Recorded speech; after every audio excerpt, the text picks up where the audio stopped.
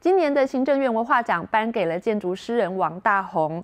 高龄九十七岁的他，是当年极少数受过西方现代主义洗礼的华人建筑家，包括国父纪念馆、还有外交部大楼等等，都是他的作品。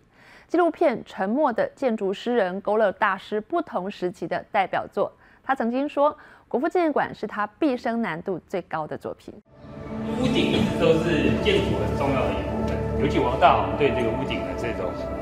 这种造型，或我们叫手头啊，其实都非常关键。所以他的作品，我几乎都会想上屋顶了解看一看、状况。一九七二年建成的国父纪念馆是知名建筑大师王大闳的作品。他曾说，这是他最艰难的设计。纪录片《沉默的建筑诗人》非常难得，带我们到屋顶领略王大闳的建筑美学。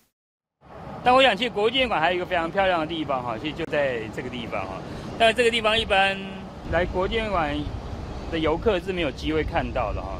一者当然我们可以看到这个这个所谓仿琉璃瓦这种屋顶的面砖的哈。然后再者当然我觉得就是看到那个王大在国纪念馆用了最多心思的这种屋顶的这种反曲哈，或我们讲叫起翘哈。所以你看到那个整个那个。屋顶最漂亮的一个地方哈，其实就在那个转角的那个力量哈。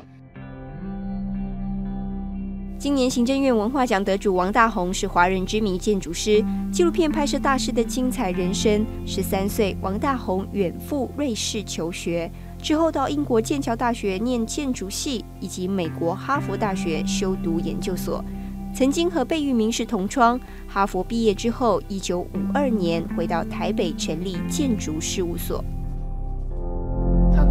战后，在在中国大陆已经已经成熟的建筑师，然后随着中央政府移到台湾的这一批建筑师来讲，王大闳是不一样的。他他是原汁原味的从国外，然后到台湾，然后发展他的建筑思想。少就是美，少就是好啊。那然后这个无为啊，然后空啊这些概念整合在一起，对，用这个中国的这个传统的概念来解释。现代建筑、现代主义，那王大闳本身的建筑概念，大概就受到这样的影响。王大闳五零年代学成归国之后，就再也没有离开过台湾。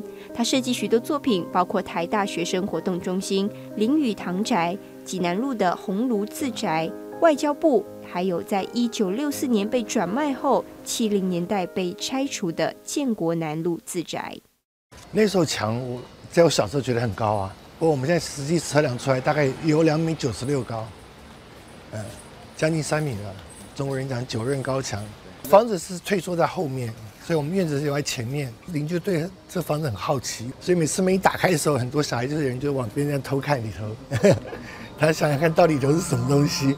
王大红自宅不到三十平，因为喜好清静简约，所以房子四周建起高墙、大片落地窗以及圆洞窗，让自然光透进室内。而这些设计都是当时建筑界非常现代的风格。除了参与设计现代建筑，王大红历经十年翻译改写，一九七七年正式出版王尔德的作品《杜连魁》。其实第一个感觉是会想到白先勇的《台北人》嘛。因为他把整个就是王尔德描写那个在伦敦的一个上层上流社会的一个现象，他转到台北，那转到台北其实是跟可能是跟他自己的经验也有关系，他在台北的经验，然后他在台北他早期接触的，事实上有可能就是大概是以从上海过来同样一批一批上流社会的人他们的生活，所以这两个是有点像的。王大闳的英文科幻小说《幻城》经有人整理手稿翻译后，二零一三年正式出版。《幻城》这本书里头，当初的稿子是完全没有整理的，真是很可惜，在他年轻一点的时候没有把这本书给出出来。王大闳曾说：“建筑是时间越久越看越漂亮的东西。”它就像搭起理想与现实之间的桥梁，永恒存在。